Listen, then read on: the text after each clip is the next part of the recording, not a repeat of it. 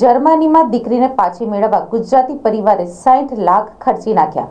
Child service એવું કહે છે કે ન્યુટ્રિશિયન્સ માટે તો નોનવેજ જરૂરી છે, એ તો આપવું જ પડે. આટલું કહેતા ધારાશા ખૂબ જ ભાવુક થઈ જાય છે. આગળ તેઓ કહે છે કે અમે ચાઇલ્ડ સર્વિસને કહ્યું હતું કે અમે વેજીટેરિયન છીએ, તેથી તેને નોનવેજ નહીં આપતા. જ્યારે જર્મનીમાં ઈંડા અને ફિશ પણ વેજ માનવામાં આવે છે. સોફ્ટવેર એન્જિનિયર ભાવેશ શાહ તેમની પત્ની ધારા સાથે ઓગસ્ટ બે હજાર અઢારમાં બર્લિનમાં સ્થાયી થયા હતા. તે દરમિયાન ફેબ્રુઆરી બે હજાર એકવીસમાં તેમને ત્યાં દીકરી અરિહાનો જન્મ થયો હતો. વર્ષ બે હજાર એકવીસ સપ્ટેમ્બર મહિનામાં એક દિવસ તેની નેપીમાં લોહી દેખાતા તેમણે ડૉક્ટરને બતાવ્યું હતું. પછી અમુક દિવસો બાદ તેઓ અરિહાને ફરી ડૉક્ટર પાસે લઈ ગયા ત્યારે ડૉક્ટરે ચાઇલ્ડ સર્વિસને બોલાવી અરિહાને તેમને સોંપી દીધી હતી. ત્યારથી જ જૈન દંપતી વિદેશની ધરતી ઉપર પોતાની બાળકીને પરત લાવવા માટે છેલ્લા બાર મહિનાથી લડત લડી રહ્યા છે. કસ્ટડી બેટલ ફાઇટ કરી રહ્યા છે. અત્યાર સુધી ત્રણ વાર હિયરિંગ પણ થયું છે. ભાવેશભાઈ કહે છે કે અમે લગભગ સાહીઠ હજાર યુરો એટલે કે સાહીઠ લાખ રૂપિયા વાપરી નાખ્યા છે. એ લોકો અમારા બાળકને રાખે છે, એના માટે પણ અમને મોટું બિલ મોકલવામાં આવ્યું છે. અમને તેમને લેટર પણ લખ્યો છે કે અમારી પાસે હમણાં પૈસા નથી, તો અમે ઇન્સ્ટોલમેન્ટમાં ભરી શકીએ?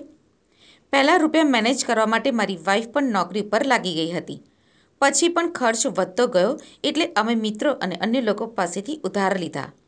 હવે યુકે અને ભારતની ઘણી બધી જૈન સંસ્થાઓ પાસેથી ડોનેશન પણ આવવાનું શરૂ થઈ ગયું છે. ધારાના કહેવા પ્રમાણે, અમને નથી ખબર કે ભવિષ્યમાં કેવી રીતે શું કરીશું. અહીં રહીશું કે મુંબઈ પાછા જઈશું. આવા ઘણા બધા કેસ અગાઉ પણ બની ચૂક્યા છે. તેમના મા બાપ સાથે વાત કરી તો અમને એટલી તો ખબર પડી કે તે લોકોને ખર્ચ એટલો બધો થઈ ગયો છે કે એ ચૂકવવા માટે પણ અહીં રોકાવવું પડ્યું છે. ધારાએ આગળ કહ્યું હતું કે પહેલાં અમે મહિનામાં ચાર વખત મળી શકતા હતા, પણ હવે ફક્ત એક જ વખત એક જ કલાક માટે મળવા દેવામાં આવે છે. અગાઉ બાળકના ચહેરો પર જે ચાર્મ હતો અને રોનક હતી, એ હવે અમને નથી દેખાતી. તેના મોં પરથી દેખાય છે કે તેને ખ્યાલ છે કે તેની સાથે કંઈક તો અજુગતું થઈ રહ્યું છે. પણ શું એ એને સમજ પડતી નથી. અમને મળે ત્યારે તે ખીલી ઉઠે છે, અમને વળગી પડે છે. અમારી સાથે રમવામાં અને વાતો કરવામાં તેને બહુ જ મજા આવે છે. એક કલાક તો ક્યાંય જતો રહે છે, એની કંઈ જ ખબર પડતી નથી. અમે જે જમવાનું લઈ જઈએ છીએ એ ખૂબ જ પ્રેમથી ખાય છે. એ અમારા બે પાસે જ રહે છે, તેને પાછું જવું ગમતું જ નથી. ફોસ્ટર મધર પાસે તે જતી નથી. અમારા પગ પકડીને ઊભી રહી જાય છે, જાણે કહેતી હોય કે મારે નથી જવું, મમ્મી. મહિને એક વખત મળે છે, તો પણ ઓળખી જાય છે કે આ જ મારા મા બાપ છે. એવું ફીલ થાય છે કે આખો મહિનો બિચારી પ્રેમ અને હૂંફ શોધે છે. પરંતુ એ ત્યારે તેને મળે છે, જ્યારે અમે તેને મળીએ છીએ. અમારા લોકો સાથે રમવામાં વાતો કરવામાં, ગીત ગાવામાં, મારી સાથે ડાન્સ કરે છે, તો બહુ મજા આવે છે. એક કલાક તો એનો ક્યાં જતો રહે છે એને નથી ખબર પડતી. જર્મનીમાં એગ અને ફિશને પણ વેજીટેરિયન માનવામાં આવે છે. એટલે અમે ચોખવટ કરી હતી કે બાળકને એગ ફિશ મીટ કાંઈ જ નહીં આપતા. તો ચાઇલ્ડ સર્વિસીસ અમને એટલું જ કહે છે કે નોનવેજ તો ન્યુટ્રિશન્સ માટે જરૂરી છે, એ તો આપવું જ પડે. અને એ બાળકને શું ખવડાવે છે, એ શું કરે છે, એ કેવી રીતે ધ્યાન રાખે છે, અમને કાંઈ જ કહેવામાં નથી આવતું. શાહ દંપતી વિઝા એક્સટેન્ડ કરાવવા ગયા ત્યારે ચાઇલ્ડ સર્વિસ અરિહાને ત્યાં લઈ આવી હતી. શાહ દંપતીએ ત્રણેયના પાસપોર્ટ વિઝા માટે આપ્યા હતા. ત્યારે વિઝા ઓફિસરે જર્મનીમાં વાત કરીને અરિહાનો પાસપોર્ટ ચાઇલ્ડ સર્વિસને આપી દીધો હતો. એ અંગે અમને કોઈ નોટિસ પણ નથી આપી અને અમને જાણ પણ નથી કરી.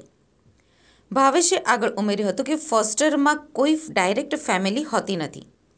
ફોસ્ટર પીપલ બાળકને એક, બે કે ત્રણ વર્ષ રાખે એવું કંઈ નક્કી હોતું નથી. જે બાળકનો પરિવાર ના હોય તેમને ફોસ્ટરમાં રાખવામાં આવે છે. અમારા બાળકનો પરિવાર છે, જૈન સમાજમાંથી ઘણા લોકો અમારી બાળકીને રાખવા માટે આગળ આવ્યા છે. તેમ છતાં, જર્મન ચાઇલ્ડ સર્વિસ મારા બાળકને તેમને સોંપવા માગતી નથી અને કોઈ રિસ્પોન્ડ પણ આપતા નથી. એક વખત ફોસ્ટરમાં રાખવાનું નક્કી થઈ જાય, પછી બાળક સોળ અઢાર વર્ષ સુધીનું થાય ત્યાં સુધી ફોસ્ટરમાં જ રાખવામાં આવે છે. એ બાળક એકથી બીજા ફોસ્ટરમાં મૂવ કર્યા જ કરે છે.